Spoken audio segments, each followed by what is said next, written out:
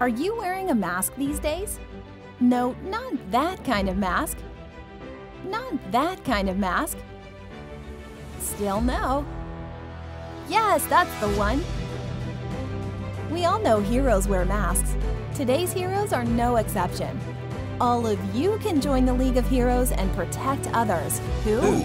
Us? Yes, by wearing a mask, you are protecting others from getting the virus. A hero protects others. Be a hero. Think of wearing a mask as something we can all do to protect our families, our communities, and the greater good. Don't forget to clean your hands properly and practice good social distancing. Also, remember to wear your mask over your nose and mouth, and check it daily for cleanliness and wear and tear. We can be heroes. Wear a mask.